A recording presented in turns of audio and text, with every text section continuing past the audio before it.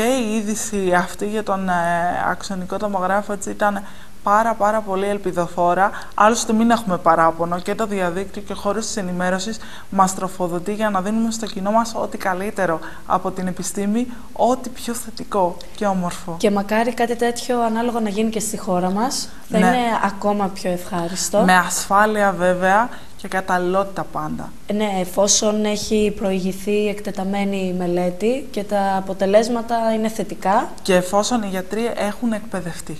Δηλαδή πρέπει πρώτα να Αυτό είναι εκπαιδευτείς πολύ βασικό. και μετά είναι πάρα πολύ βασικό πειράματα με την υγεία των παιδιών, ειδικά των μικρών παιδιών και γενικότερα όμως των ανθρώπων δεν πρέπει να γίνονται και εμείς γι' αυτό ακριβώς τονίσαμε και την είδηση για να δούμε και την ευχάριστη πλευρά αλλά και να τονίσουμε ότι χωρίς τα κατάλληλη- τις κατάλληλες υποδομές δεν γίνεται να γίνει κάτι τέτοιο.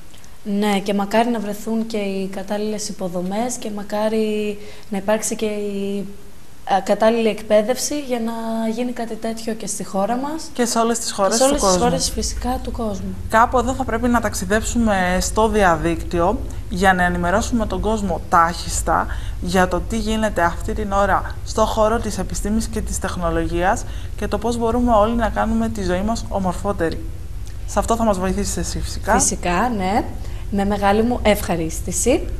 Ε, να πούμε ότι θυμάσαι που μας λέγανε πάντα οι γονείς μας ε, να μην βάζουμε τα χέρια στο στόμα και να τα πλένουμε συχνά; Ναι, πες μου Λοιπόν. ότι αυτό έχει και επιστημονική βάση, Ε, έτσι δεν είναι; φυσικά, κάτι παραπάνω ήξεραν, καθώς η καθαριότητα είναι η βασικότερη ασπίδα για τα μικρόβια, τα οποία υπάρχουν ε, τριγύρω μας παντού. Και ειδικά σε αντικείμενα που τα πιάνει πολλοί κόσμος, σε παιχνίδια που ακόμα και από τη βιομηχανία όταν βγαίνουν, λογικό είναι να ακουμπάνε κάπου όχι τόσο καθαρά Ναι. και να υπάρχουν μικρόβια πάνω. Ακριβώς και γι' αυτό δεν πρέπει να μελούμε με τίποτα την προσωπική μας υγιεινή. Ναι, και για μας και για τους άλλους, έτσι. Ακριβώς, γιατί είμαστε κι εμείς οι ίδιοι φορείς μικροβίων. Ναι, σεβόμενοι τον εαυτό μας, μόνο έτσι σεβόμαστε και τους άλλους. Ε, τώρα, στη συνέχεια, η ακτινοβολία στη ζωή μας υπάρχει παντού, Ναι. στα κινητά, στους υπολογιστές, στην τηλεόραση παντού και έχει σημαντικές επιδράσεις και κυρίως στα παιδιά. Όχι πάντα τόσο θετικές, γι' αυτό πρέπει να πούμε ότι πρέπει να περιορίσουμε την ακτινοβολία και ειδικά τη χρήση κινητών τηλεφώνων από πολύ μικρά παιδιά. Σε λίγο θα φτάσουν και στα νηπιαγωγεία τα κινητά τηλέφωνα, έτσι όπως πάντα. Ακριβώς, γιατί ναι, μεν καλή η τεχνολογία, Αλλά τη χρησιμοποιούμε με μέτρο και υπέρ μας πάντα. αλλά ναι, οι τεχνητές ακτινοβολίες έχουν, πρέ- έχουν πλέον αυξηθεί κατά πολύ και πρέπει όσο γίνεται να περιοριστούν. Και το λέμε στους άλλους, στους τηλεθεατές μας, για να τα ακούμε και εμείς οι ίδιοι, γιατί η ζωή μας έτσι όπως γίνεται, η δουλειά μας έτσι όπως τρέχει, χρησιμοποιούμε αρκετά το κινητό τηλέφωνο, θα πρέπει να το χρησιμοποιούμε πάντα με ασφάλεια, με ακουστικά, είναι πολύ καλύτερα, έτσι. Βεβαίως το hands-free είναι Ε, υπάρχουν, μας δίνονται οι δυνατότητες, καλό είναι να μην το αμελούμε, γιατί η ακτινοβολία ευθύνεται και για πολλές μορφές καρκίνου και καλό είναι ότι μπορούμε να αποφεύγουμε για να κρατάμε την υγεία μας σε φόρμα και να χαιρόμαστε τη ζωή μας να το κάνουμε. Και μία, τελευταία, και μία τελευταία ειδισούλα. Τώρα για Τάχιστα τα πρέπει μικρά να τις μωράκια, σχολήσουμε, ναι. Ε, καθώς ένα από τα πρώτα μαθήματα είναι η εκπαίδευση ύπνου.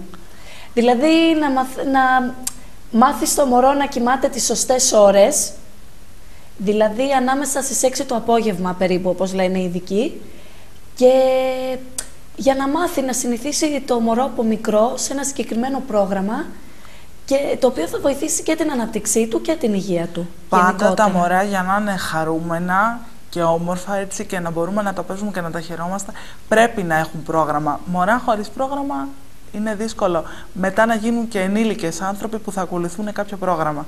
Γι' αυτό Έχεις και απόλυτο μεταδίδουμε την δίκιο. είδηση. Γι' αυτό από μικρά πρέπει να μαθαίνουν.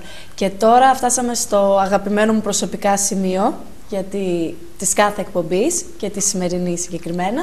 Θα περάσουμε να δούμε το βιντεάκι με το σημερινό ευχάριστο, αισιόδοξο, ηθικό δίδαγμα. Ωραία και επιστρέφουμε να σας χαιρετήσουμε.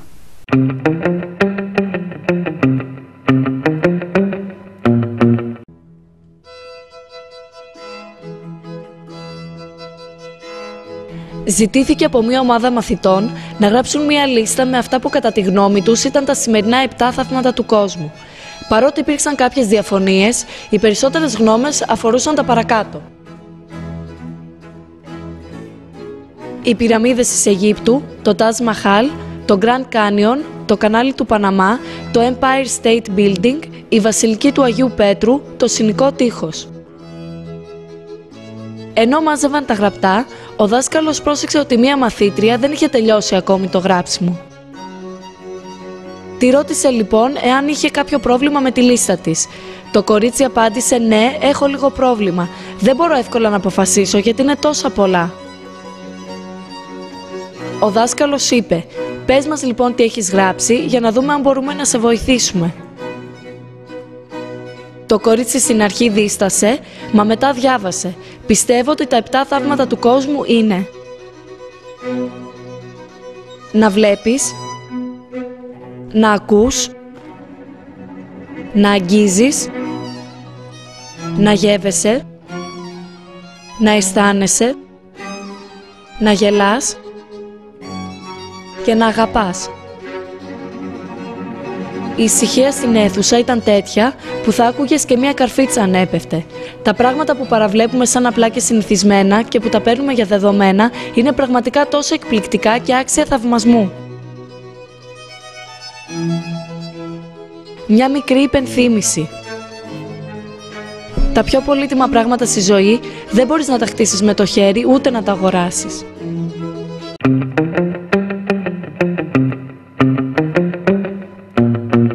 Και κάπου εδώ αγαπητοί μας τηλεθεατές, η σημερινή εκπομπή έφτασε στο τέλος της. Ανανεώνουμε το ραντεβού μας για την επόμενη εβδομάδα και να θυμάστε πάντα ότι η ζωή είναι πάρα πολύ όμορφη και μπορεί να γίνει ακόμα ομορφότερη όταν κάνουμε πράγματα που μας γεμίζουν και τη μοιραζόμαστε με τους αγαπημένους μας ανθρώπους. Και κάπου εδώ και το σημερινό τηλεοπτικό μας ταξίδι έφτασε στο τέλος του.